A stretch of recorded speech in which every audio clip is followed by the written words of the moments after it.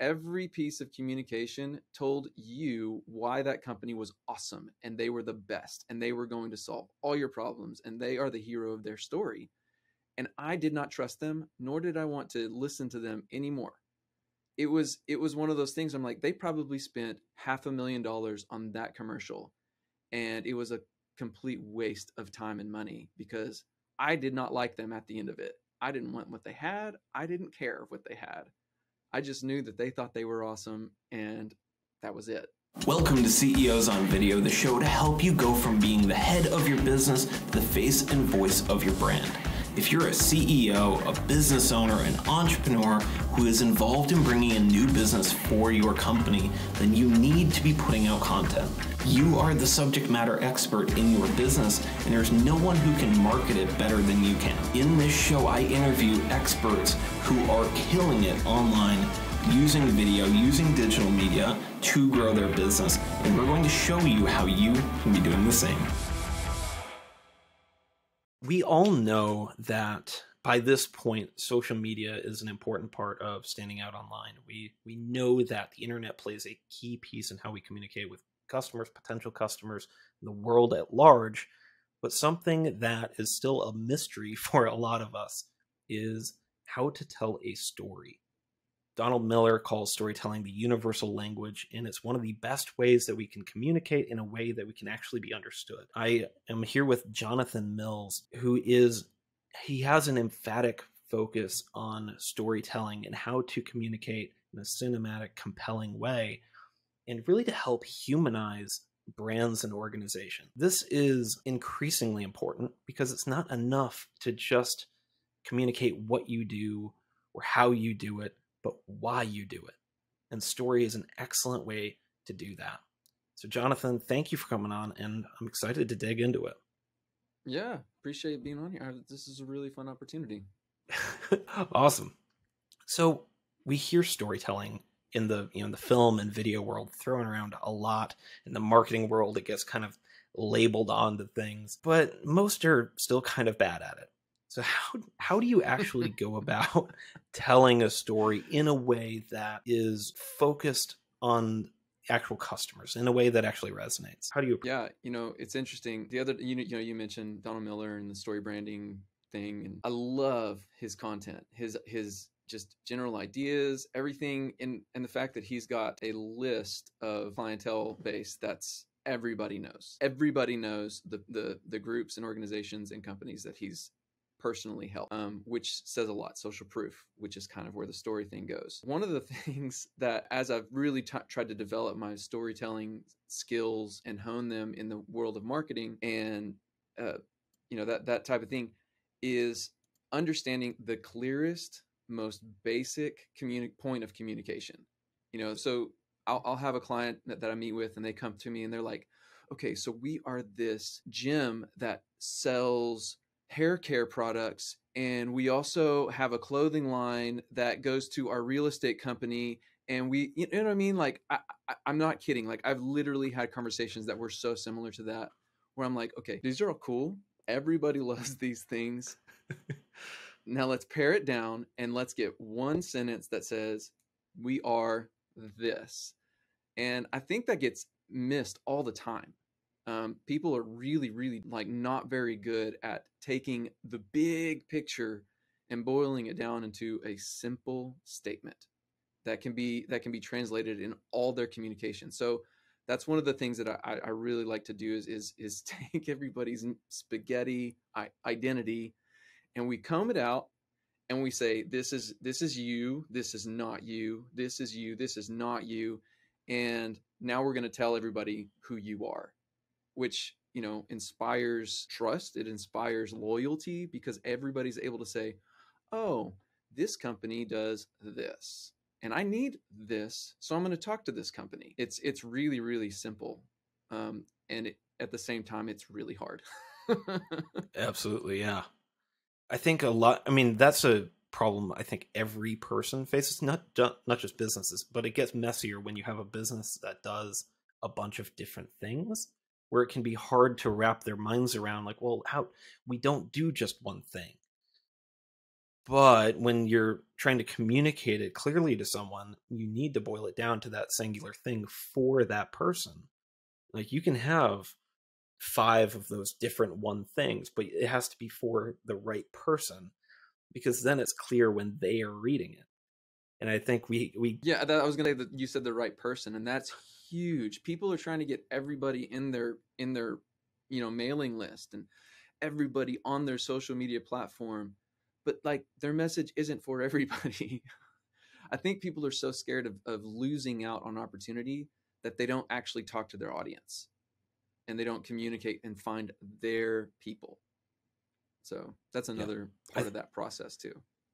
I think the the example that almost everyone has seen at some point, you go to a networking event or a, a, mixer or a business after hours or something, you walk in and they have the format. Everyone introduces themselves and they've got their 60 seconds or something. They say what they do. And there's always that guy or that girl that has like well, I'm a dog walker and I'm a graphic designer, and on the wedding, uh, I do weddings on the weekend, and you can hire me to, you know, to cut your hair. And like by the end, you're like, I have no idea what that person does. I have no clue, only that they're probably too busy, or they they need to just like pick one and run with it, because I have no idea what they do, and businesses do that a ton. Here's all the stuff and you know what how can we help you what do you want to buy and like i don't know because i'm overwhelmed and i'm confused and i don't know what i should be coming to you for another element of this whole thing and donald miller talks about this a lot is not being the hero. As the company as the organization as the entity you are not the hero. Your person that you're trying to bring into your sphere of influence is the hero and you're just the one that lights the path that guides them into this you know so that they can be what they're supposed to be. There's that, you know they can be who they're supposed to be. I saw a commercial like a major commercial a few weeks ago and i my wife and i were sitting there next next to each other watching this she's not a filmmaker she's super creative and all that but i looked at her i was like that was literally the worst commercial I have ever seen. And she's like, that's a that's an aggressive position to take on that, I suppose. But like, you know, tell me more about that. And I said, every piece of communication told you why that company was awesome and they were the best and they were going to solve all your problems and they are the hero of their story. And I did not trust them, nor did I want to listen to them anymore.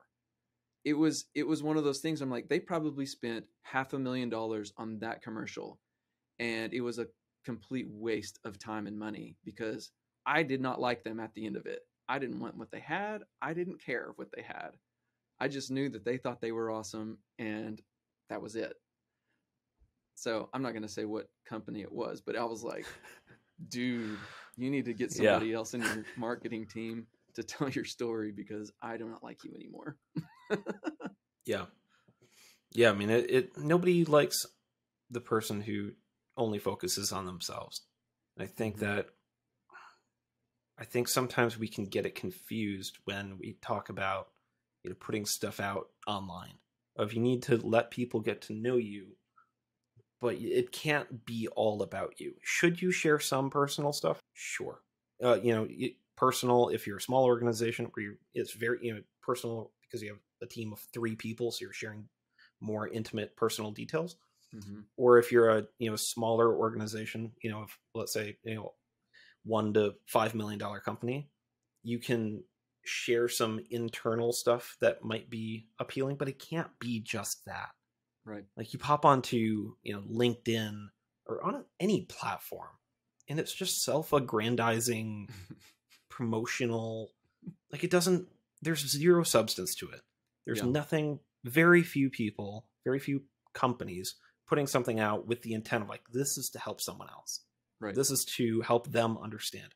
Which the funny thing is, when you focus on the customer about providing value to them, the whole point is to attract better customers, to mm-hmm. educate prospects to become better customers. It's just the short sighted play if they want to see their value in conversions and immediate ROI and the return on ad spend and all the things that marketing agencies tell them to value and Right. they it's hard to quantify people's feelings about you. And it's a long game like you said. It's not this fly by night you know wham bam thank you ma'am deal. Like you that's part of humanizing the organization is establishing trust over time. And and that doesn't happen because they saw one ad. That doesn't happen because they saw a photo on your instagram account that's not what that's not when that happens. It happens whenever you you uh, show that person that you know is, is is in your funnel. They are your person. They resonate with your message with your your idea you, you know every whatever you're bringing to the market they resonate with that.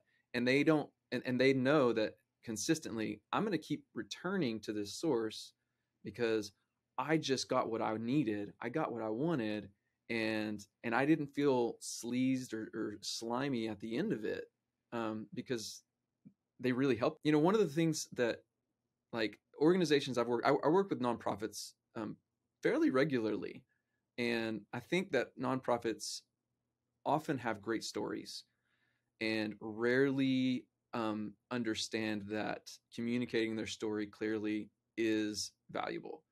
And whether you here's here's the mis I think nonprofit is a misnomer because they make lots of money. There's a lot of money that that runs through a nonprofit and it has to it's important because whatever their goal mission blah blah blah it requires money and so therefore the thing they're selling is their story.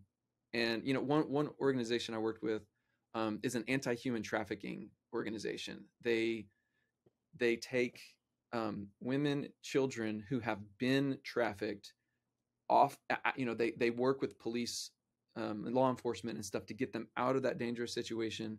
They spend like several years rehabilitating them, bringing them back into society because of the trauma that they've gone through, all that stuff. Like they're they're on the front lines of ending human trafficking. So here's the thing: everybody with a ounce of blood in their heart is going to be like, "Yes, we love that." You know, in human trafficking, this is modern day slavery, that type of thing. But they were not able to. They were they were living on like zero dollars they were they had already successfully rehabilitated and and rescued dozens of women out of trafficking situations um and nobody even knew about them like no clue and this is one of those organizations that like people want to give to they want to be involved with. And so they brought me on and and I- man i got one of the first rescuees on front in front of the camera and i just let her talk. I asked questions. Um, i let her share her story. She she tell i mean it was it's tear jerking heart wrenching and you know like again i i cut out the, the real graphic hard really hard stuff to, to hear but i was able to pull her her story out. They communicated it very clearly you know what this organization did for her and now what they are and what she's involved with helping them do further on. And that video was shown in in a gala just just probably uh, uh i think two months after the final cut was was delivered. They raised $150000 at that gala whereas before they'd never even had a budget in the like the $30000 range. You know like you know there was that was like their annual budget was like 30 grand for this organization. And they spent one they took one night they showed this this commercial and they made six figures in a matter of one hour. And and it wasn't because their organization all of a sudden became better. It wasn't because their organization like did something new was because their message was clear and what they did and how they did it was presented in a really clear fashion. So it's, it's just an example you know like you got to humanize this. This can't be this faceless entity. This story matters and it's real and this is how you can help this situation. So, I mean, a lot of things without having seen that video, just hearing you describe it, there, I mean, a couple of things very obviously were done amazingly well. Of you didn't go in and lead with stats and figures of, you know, X percentage of adults, you know, will, you know, like, or some 10,000 adults in America every year are trafficked or you know like that's Mhm. it's so hard to connect It doesn't mean anything. data like that it doesn't mean anything i mean it, you hear it and you're like that's awful but tragic. you're like it's detached Mhm. like you can't grasp you know that many people like you just can't Mhm. but seeing a person in front of you and like i know i understand what she went through and there's x number others who are going through similar or even worse right. You're like and here's a tangible thing that i can do to contribute to fix it and And like Exactly. And you mentioned the stats, and stats are important. Like th- those numbers mean something if there's a face to the to those numbers. And so what I did was I had I had th- that person tell her story, and then and then there was there were stats that all of a sudden had a face. And I think that was the power of the message in general because detached from humanity, those are just numbers. But you attach a face to the number of trafficked individuals and their story, and all of a sudden that number is enormous, and you feel the injustice of it. Yeah. Anyway, yeah so what can we apply from that what can we take from that because i think there's a lot that i mean that just some best practices to follow of i mean you need to humanize your brand You- there needs to be a person that someone can see and understand and relate to mm-hmm. i think that's that's an important one Mm-hmm. then having some why of you know what what's the because again you you aren't the hero it's you're you're guiding your customer your your donors or whoever uh you're trying to reach Mm-hmm. in towards making a decision so how can we how can people leverage that in you know the typical small business scenario Yeah, yeah, that's it. And it, that's actually probably the question because at the end of it, you have a goal, and the goal is to build a list, to raise funds, to sell a product. You know what I mean? Like there's an end goal, and and so there has to be an ask at some point, and that's the big. That's the big. That's hard for people. Um, because they either are too focused on asking for the sell the sale to asking for the donation or the sign up to your list they're like that that is the goal in their mindset. Therefore they communicate that as the number one priority. So this is this is it's it's reversed. You need to communicate their win their success their whatever they're looking for. Their problem that that needs to be solved is your number one priority and then once that's been established the ask isn't even necessary because they're like here's my money. I want to do this. I'm in. I want to look i want to look stronger. I want to feel better. I want my hair to be better. I want my my my relationships to be better. You know that like they they they don't the, the ask is is secondary be, because um they already like you don't even have to do the ask. I mean you will do the ask if you're a good marketer. That's important. I'm not saying don't do it but i'm Right. saying the ask is already done if you've found your person and you've communicated clearly to that person. Yeah. It's super and they have the problem and they have the problem that you're solving. Um, exactly. Alex Hormozi, uh, I heard him say pretty recently that the longer you can delay the ask, the bigger it can be.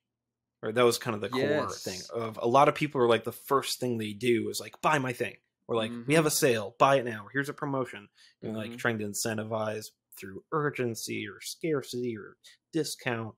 Like you can maybe get some like some subset of customers will go Mhm. for that but the vast majority are like i don't need that right now like i don't i wouldn't buy it at full price i don't care if it's half off like i still don't need it or want it mm-hmm. But if you introduce like a way to relate like showing i understand your problem there's someone experiencing it or someone who has solved it and is now offering the solution to you you relate to it they tell you why it matters and the transformation that's going to happen and then you're at a point where like okay they understand me they it seems like like i could fix whatever pain i'm facing like like you said wanting to look better or be stronger like I can't go to the gym consistently on my own, so like this trainer guy seems pretty legit. And then they ask, "Oh, I can there's a spot open to work with them." well now it's just like the transaction is now the secondary thing Mhm. transactions come after transformation Yep. Yep. You establish that trust, becoming real, becoming human, becoming like a legit op- option. And and then and then the ask is like a done deal. Whenever because that's a highly qualified buyer, lead, or whatever at that point. Yeah. So when you tie this into you know the typical business, most are not mo- most small business owners are not thrilled at the prospect of like being the face of their business. Mhm. And I that's a big part of why this show exists and trying to inform like this is why it matters. This is, you know, different ways that you can approach it. What are your thoughts around I mean, it, it being the owner, you know, the the head of an organization, uh, who maybe wants to have someone else step in to do Right. it, you know, uh, someone of their leadership or their kid or or hiring an actor. How do you handle that? Well, you know, obviously there are large corporations where there's like, you know, 2000 employees or whatever. Like that's one thing to not be the head and not be the the face. Um but whenever so so here's here's an example that I'll use for my own business.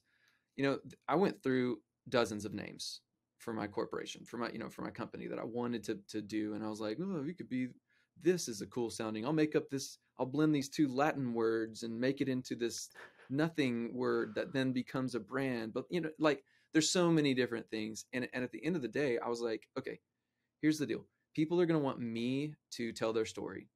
They're going to want to, to entrust me with their information and to communicate their idea. Okay, I'm going to name it after myself, which was like, it was kind of a thing. Like I had a hard time with it a little. I'll, just, I'll just be honest. I was like, I mean, I guess. I mean, you know what? What if anyway? And and the reason I did that was was not because I've got this big ego that I need to I need to stroke every time I look at my web domain. I like, like, I, you know, I've I've life is life has kicked my butt enough for me to be like, okay, I'm I don't need I don't need this. Um, but the reason I did that was because exactly like you said, it's it's got I, I knew that I was going to be the one communicating the ideas most of the time. And I'm not always the one that's behind the camera or doing this or that. Like, you know, I, I hire crew and, and, and teams to come in and, and, and we do this. But I am the one that is communicating with the higher ups and making sure that they are getting what they want. And and that's important to me because this is a this is a hard industry. Like, I mean, media production in general is they say that it's not saturated, but it is saturated in some some degree. The fact that everybody is walking around with a 4K cinematic, you know, piece of equipment in their pocket everywhere, um, you know, like it kind of is. and so having having a, a face and and being able to communicate who you are, where you're going to take them with your with whatever you're going to do I think it's super. It, it's it's just mandatory these days. And I'm not saying you, Yeah. you you have to name your company after yourself. That's not what I'm saying. I'm I'm just Right. saying, being the face, and especially in a small company like mine, um, it's just important because that's who who's going to be ans- you know answering the questions and being involved on the day to day. Yeah. Uh, a good number of people that will listen to this are generally going to be smaller business owners, you know, maybe a team of 10 or 20. Uh, often they're, you know, even smaller. It might just be them, you know, Mhm. maybe an assistant, maybe a part time person, uh, or specialized like outsourced help. So it kind of has to be them. And I think you're you're right of when you're trying to lean into, well, I'm a business, I'm this, you know, this entity. That's fine. But people connect with humans Mhm. and they like they will relate to a person much more than your branding you know, like, and Yeah. which is the stuff that we all stress over when we first start like are my brand colors really going to represent the what i want to put out in the world I'm like "Eh, nah, don't worry about that you get that'll, Because- that'll take don't, care of like, itself later. yeah like don't no one's like gonna weigh you against a competitor of like i like this blue way better than their red like Nobody's going to do that, I promise. Right. But it comes down to oh, how are you connecting with other people? And I think story is the framework that most of us can learn, especially when we are in a competitive industry, because Mhm. you can now distinguish yourself from everyone else who does video production, but you have the way that Jonathan Mills does it. Right. And people can identify that and come to you for it. And when you communicate it well, it, it's often the thing that sets you apart. Right. No, and that's totally true. And and there's a story in everything too. That was the other point I was I wanted to bring is there's always a story. Um like we were talking about real estate earlier and and I don't just like just slap together a whole bunch of cool cinematic moves with my camera. Like I I make it mean something. Like as if you are entering that home and you want it to be yours. And and and what would you do first? And how would you how would you walk through that house? And what would you look at? And what would draw your attention and capture you and and and you know it, it unfolds until the end where you're like this house is awesome. And or, or you know uh, I, I do private jets too. It's the same thing. It's like like you know most people don't even think that they could you know most people can't afford a 10 million dollar jet. Like i'm not i'm not saying everybody's like rolling like that. But everybody likes to think about it and everybody likes to watch it and everybody likes to to imagine themselves. So why not just take that that tendency and and put a visual to it so that you can see oh man this dude in a slick looking suit just walked up to this 10 million dollar private jet. He's probably off to like bali or something sweet. You know what i mean? Like you can fill in the blanks and that's how we sell jets you know? That's you you tell the story. And and it's it's it's there's a story in everything whether you're talking about a, a, a doctor's office and and you need to you know you need to let the potential client know like you're going to walk in they'll be organized they'll be friendly they'll make you feel special and important. They'll get to your your problem with um a, you know in a timely fashion and they're going to they're going to display excellence on your behalf so that you can move on with your life because nobody wants to spend time in the doctor's office. You know what i mean? Like like that's a story. And and it it does it just it means something. Every little camera movement every little piece every little piece of b-roll all the audio it all means something and it should be driving that forward to the end goal of saying yes i want what you have let's do this thing so that's it in a nutshell Absolutely. And something I think one of the most important stories is the one that others people tell about us. That, Mhm. or the the story that other people tell about us. And most of the time what that manifests as is referrals, Mhm. you know, word of mouth advertising.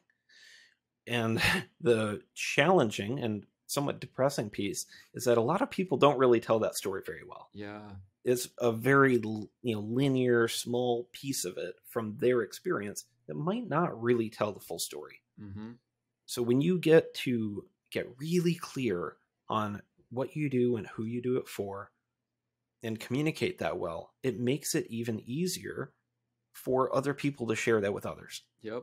You know if someone gets social you know proof 10 seconds on your website hmm can they tell someone else what you do? If they watch one video of yours do they know what you do? Right. and if they don't know that then it isn't clear enough.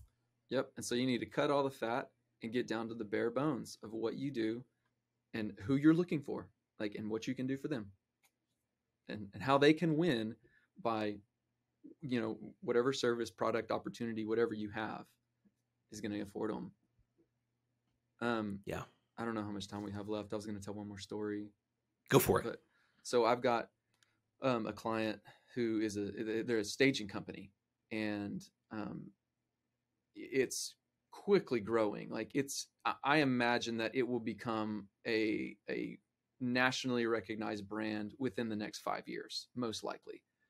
And um, one of the things I did was create a brand message video for them right off the bat. Like just got started. This is what you are. You've you've rebranded this company. You're ready to launch as this new entity. Let's go. And and the first thing we did is we we got builders um in front of the camera who had worked with this company and and we told the story. We let them tell the story on behalf of the the company, this faceless entity that's like a corporation, and that builder had a problem. They needed they needed a, a house that they just built ready for the parade of homes, and they needed it yesterday. And their budget was this big, but they wanted it to look this big. What are you gonna do? And we told the story, and that story keeps getting repeated and repeated and repeated. And so, like, it, it's a staging company. They put furniture in houses. it's like n- not sexy. It's not a jet. It's like a couch on your living room floor. You know what I mean? But at the end of that, whenever that builder finished telling about how awesome this experience was, everybody's like, man, I need to stage my house to sell it. You know what I mean? It, it, it was just one of those magical moments that the other person told the story and we didn't even have to do any of the work. It was just, it unfolded before us because it was social proof that it worked for somebody else. So it's been a good, it's been a great campaign for them. Yeah, I bet. Because it takes something very, I mean, that in my mind just sounds like an extra expense. Uh-huh. Or like, why would I pay? I don't know what even would be an estimate, but I mean, I, I imagine not, you know, a few hundred dollars. You're probably paying a decent amount it's several to have thousand. someone yeah. come. Yeah, several thousand dollars to come have someone do this. Like, why would I do that? It doesn't make any sense. But it's when you, I mean, you can see the difference in listings of if you see something like that looks amazing. mm-hmm. Like it, I could see that being my house. Like I would want to live there. Right. It's hard to do that with empty rooms. Right. And you can tell that, you know, like you can you can give all the stats of like, you know, if you list your house without furnishing, it's going to go in this many amounts of days and you know all this that's fine. That's great. That that's information that's valuable if it means something. And it means something whenever a builder is like I saved a $100,000 last year because I went with this staging company instead of this other guy. That talks, man businesses are like i will save a hundred thousand dollars if i uh, you know this is this is what i'm doing now like it, you know it, it just it inspires um yeah it inspires trust and it causes people to take action Yeah, communicating in a people, you know, communicating in a way that people want to listen. mm-hmm. exactly Well, Jonathan, thank you so much for coming on. This was a lot of fun. For everyone who tuned into this, watched it, it would mean the world to me if you'd leave a review wherever you're listening to it. We're on Spotify, on Apple, Alexa, Stitcher, all the places. So if you leave a review, that would be awesome. If you listen or watch on YouTube, I would love if you drop a comment of what do you want to hear in future episodes? Where are you getting stuck? What's confusing? What can we cover to help you take advantage of storytelling and using video to grow your business and your impact? Uh, Jonathan, thank you so much for coming on. yeah man and I, appreciate will see being here. you. I will, we'll see you in the next one. awesome man Thank you so much for watching this episode of CEOs on Video. I hope you got something valuable from it. If you liked this episode of CEOs on Video, be sure to let us know by giving us a follow. Leave us a rating on Apple Music. It would mean the world to us. So let us know what you like, what you didn't, and if there's anything that we can do to help you, be sure to reach out. Thank you so much for listening. We'll see you on the next one.